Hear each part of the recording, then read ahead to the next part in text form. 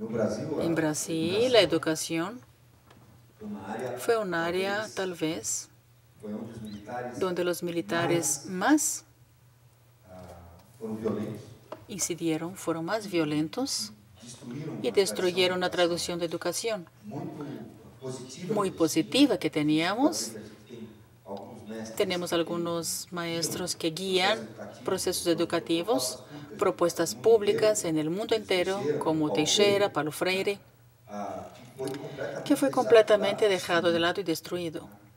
A partir de una propuesta de masificación de la educación, ellos empezaron a no cuidar de los maestros. Y cualquiera pasaba de la clase sin tener la mínima formación pedagógica. Eso generó un círculo vicioso que nosotros creemos, el Ministerio de la Educación cree que se va a tardar algunas décadas para ser superado, porque tenemos cuatro o cinco generaciones de maestros muy mal preparados. Y es muy difícil formar culturalmente. o ayudar la formación cultural de un joven, de un niño, si uno mismo está mal formado. Como decimos en la escuela libre del teatro, uno transmite lo que siente. La comunicación no se da del punto simbólico, pero sí sensitivo, sensorial, emocional. Y eso es muy grave. Cuando yo fui secretario de Educación, sufrí una huelga porque yo prohibí la compra de discos de Shusha, una cantora de televisión, no sé si conocen, una rubia, modelo, que hizo algunas películas pornográficas, pero luego ganó dinero con niños.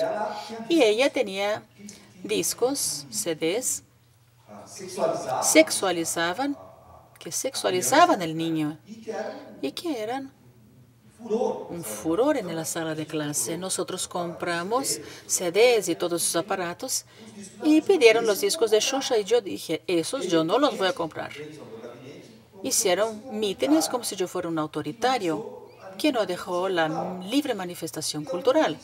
Y tuve que decir, sí, soy autoritario, pero eso no se va a comprar. Sí, pueden tener en su casa. Bueno, hubo centralismo democrático y bueno, hubo crítica, pero yo dije no y punto. Y eso fue. En los cielos, la cultura tuvo una participación muy grande por algo completamente algo inexplicable. Inauguramos el primer CEO, Cielo. Era una programación de primer nivel, mejores artistas, orquesta sinfónica, fue muy bonito. Cuando pasamos una película, hicimos una investigación, boleros de Georgette, 99% de las personas nunca habían visto una película en una pantalla grande.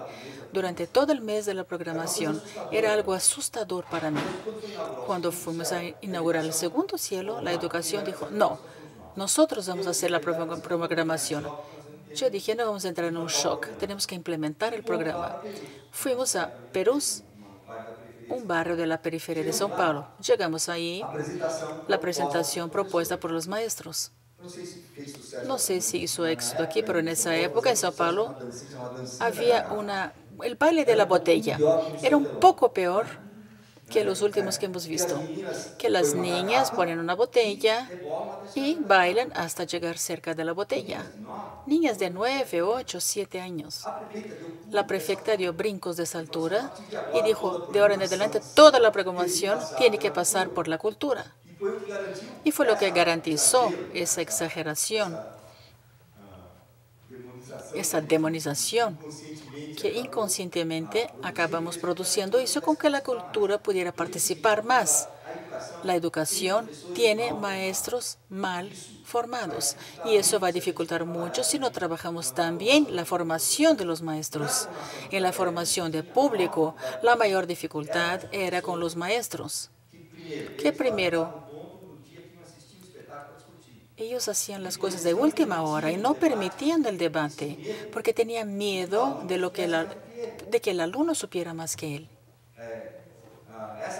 Esa relación, profesor autoritario, dominaba, pero él no sabía qué estaba haciendo. Y el alumno, que va con la cabeza más abierta, logra traducir el espectáculo de una manera más positiva. La educación es fundamental y va, se va a tardar un poco, por lo menos en Brasil. Aquí yo no sé cómo está la situación. Pero la cuestión del público, necesitamos de apoyo de otras áreas, pero creo que el artista tiene que ser más consciente y saber su responsabilidad y tratar de llegar al público. Y no ignorar al público, sensibilizar, motivar el espectáculo y al público para que vaya a verlo. Es difícil, muchas veces es difícil. A veces hacemos teatro con muchos años y muchas veces hacemos el teatro a un público vacío. Porque no es solo tener un buen o un malo espectáculo, depende de muchas circunstancias.